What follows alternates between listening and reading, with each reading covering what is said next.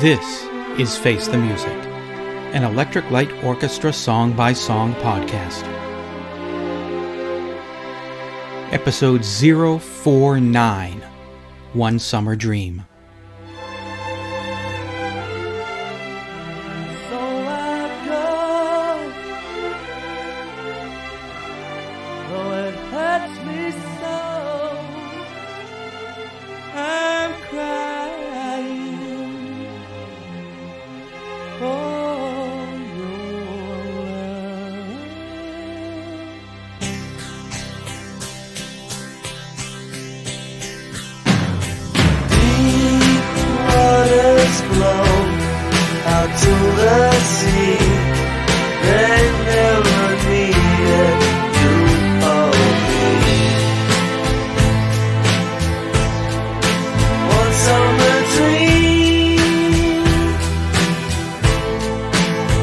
One summer dream.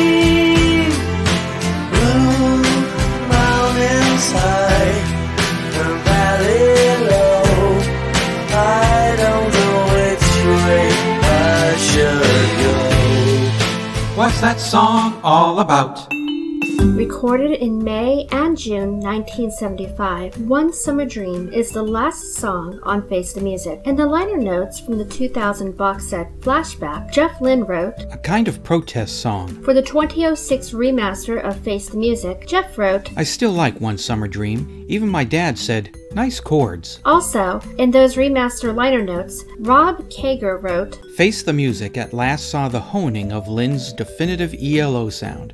Immaculately produced, perfectly orchestrated rock songs with infectious melodies. None more so than on One Summer Dream, one of Lynne's finest compositions from any stage of ELO's long career. The dreamy, hypnotic protest song highlighted ELO's lusher and fuller sound. In the US and UK, it was released as the B side of Mr. Blue Sky. In the UK, the single came out on January 28, 1978, with a remixed version of One Summer Dream. Cut from that version was Jeff's first set of vocals, the female backup vocals, and was a minute shorter. In America, the song was released in June 1978 and faded out at different points depending on what pressing of the single you got. One Summer Dream was covered by Prairie Sons and Daughters in 2001, Tom Harris in 2011, and Claudia Brucken in 2012. Hottest summer we've had in years. I'm Eric Paul Johnson. And I'm Eric Winsenson. And there are tons and tons of ELO ballads that make me swoon, but this one is one of the swooniest of ELO ballads that there is. It's in my top three, top two of the swooniest ELO ballads. I just every time I hear it, I just turns my legs into jello and my spine into melted pudding, and I'm just, oh my god, this is so fantastic. Joe Jackson's song Slow Song has a line that goes, Pick me up and undress me.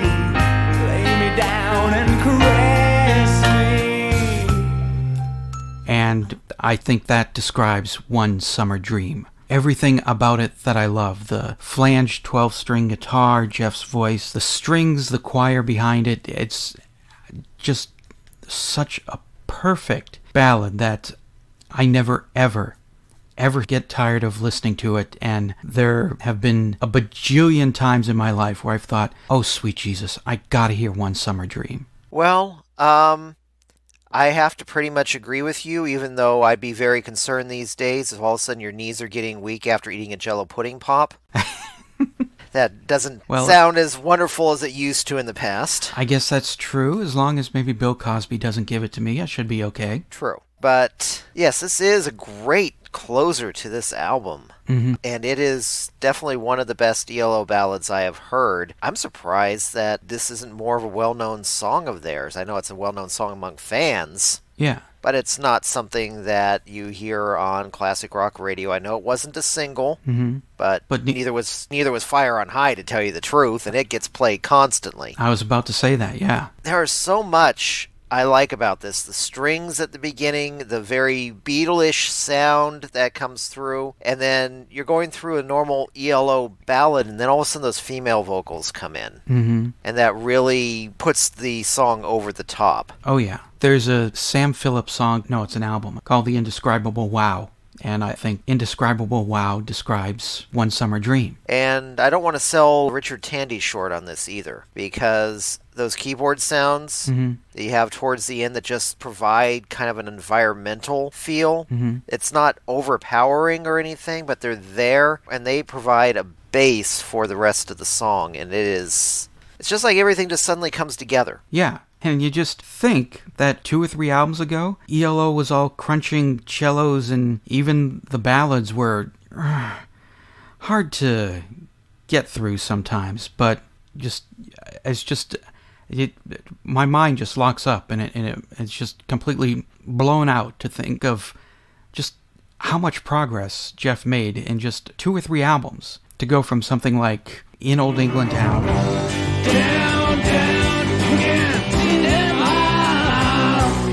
and just a couple albums later, One Summer Dream.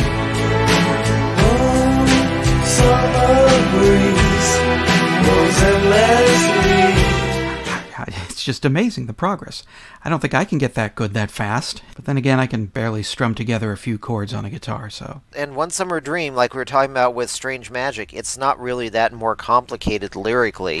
Has a little bit more to it, but lyrically, really, it's not that complicated of a song. It's just that all the music parts work, and the repetition of One Summer Dream works simply because the music behind it is not as repetitive. Keep in mind, I like repetitive songs sometimes. I love it when you get kind of like a machine sounding, repetitive, minimalist song. You got that with the lyrics in this, but the music just builds and Mhm. builds and builds. And also remains subtle enough to where you're not sitting there just overwhelmed with everything. You can hear all the different little pieces that go together and then just feel how they all interlock. Yeah. Yeah, I just don't understand a lot of times why something like this would be hidden on an album where sometimes record companies decide to release other songs as singles that you would never even in a million years think of releasing.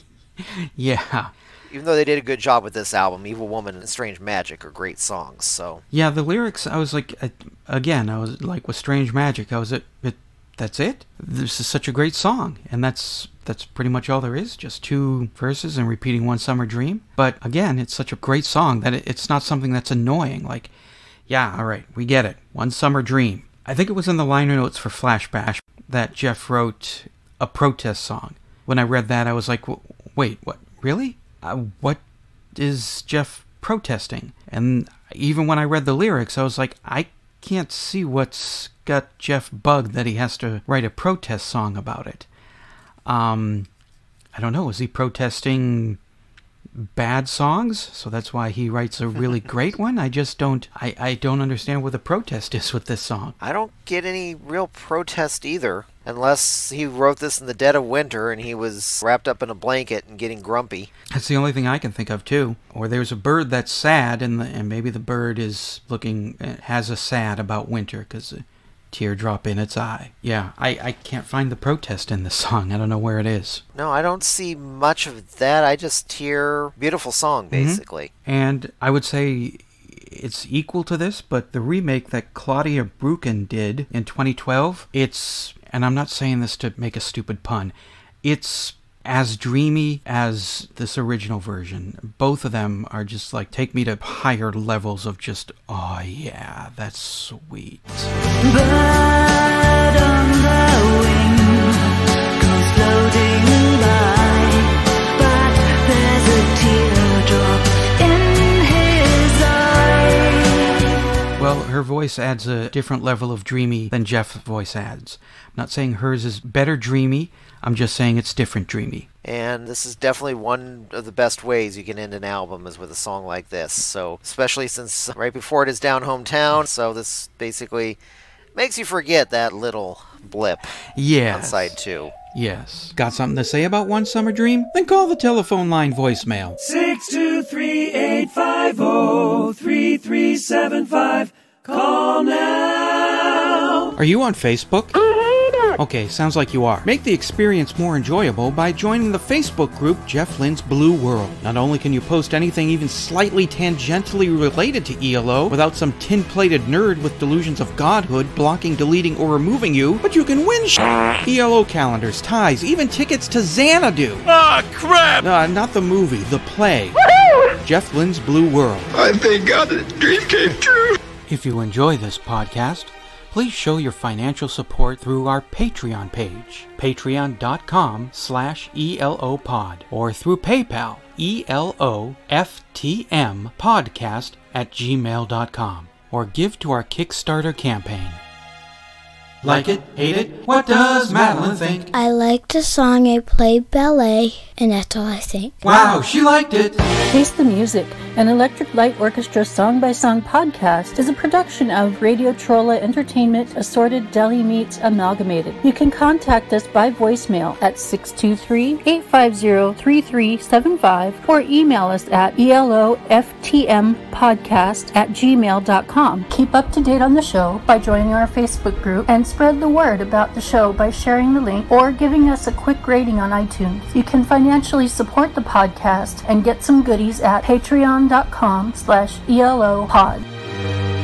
Next week, Face the Music bonus tracks, listener comments, album reviews and history, episode outtakes.